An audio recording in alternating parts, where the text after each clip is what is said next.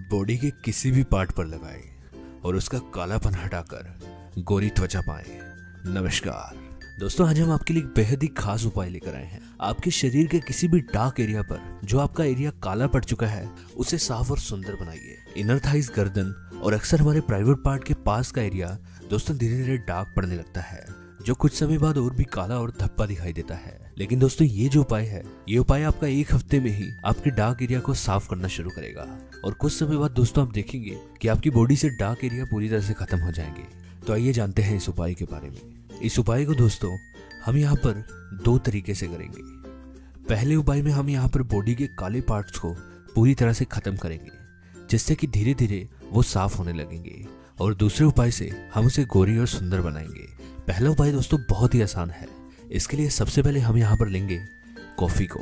Skin को exfoliate कर दोस्तों, डार्क एरियाज़ को रिमूव करने के लिए कॉफ़ी बहुत ही फ़ायदेमंद है।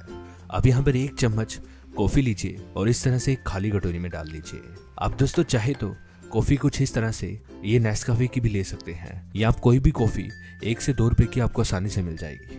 कॉफ़ी डालने के बाद अगली चीज़ जो हम यहाँ पर लेंगे, वो है दोस्तों बेकिंग सोडा। आप दोस्तों यहाँ पर इस तरह से बेकिंग सोडा लीजिए आप ध्यान रखिए दोस्तों, आपको बेकिंग पाउडर नहीं, बेकिंग सोडा लेना है।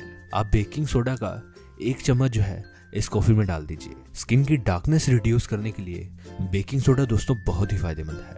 और इसके बाद हम यहाँ पर लेंगे कोकोनट ऑयल को, यानी कि नारियल तेल को। और ये जो नारियल तेल है, हम यहाँ पर इसके दो चम्मच जो है, इसमें मिलाएँगे। आप दो चम्मच इसमें नारियल तेल डालिए। नारियल तेल की मसाज से दोस्तों हमारी डार्क स्किन बहुत ही तेज़ी से लाइटन होती है। अब हम इन्हें यहाँ पर मिक्स करेंगे।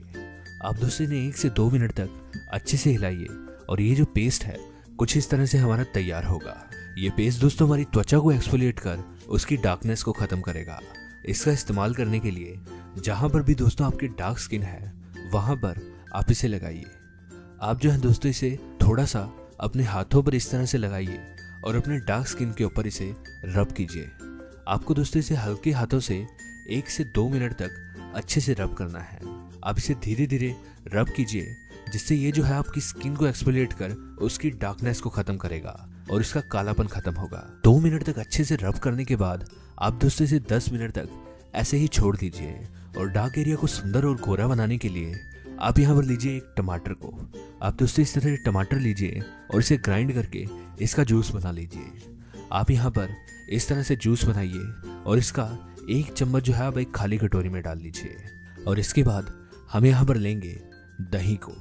त्वचा को मॉइस्चराइज कर उसका फेयर करने के लिए दही बहुत ही फ़ायदेमंद है। आप यहाँ पर एक चम्मच दही डालिए और दही डालने के बाद अब इन्हें अच्छे से मिला लेंगे। और ये जो पेस्ट है दोस्तों, हमारा तैयार हो जाएगा। अब आप यहाँ पर इस पेस्ट को कपड़े की मदद से उतार लीजिए। आप कोई भी पुराना साफ़ कपड़ा लीजिए और उससे ये जो है इस पेस्ट को इस तरह से उतारिए। आप इसे अच्छे से उतारिए और उसके बाद लीजिए आप इस पेस्ट को। आप दोस्तों यहाँ पर इस पेस्ट को इस तरह से अपनी त्वचा पर लगाएँ और इसे अच्छे से अपने डार्क एरिया पर कवर कर लें। आप दोस्तों यहाँ पर देख सकते हैं, आप इसे अच्छे से इस तरह से लगाएँ और इसके बाद दोस्तों आप इसे सूखने के लिए छोड़ दीजिए। सूखने के बाद आप दोस्तों किसी भी कपड़े की मदद से आप इसे साफ़ कर सकते हैं। और उसके बाद आप इसे पानी से धो लीजिए। शरीर के किसी भी हिस्से पर लगाने से, दोस्तों, ये एक हफ़्ते में ही आपको रिज़ल्ट दिखाने शुरू करेगा।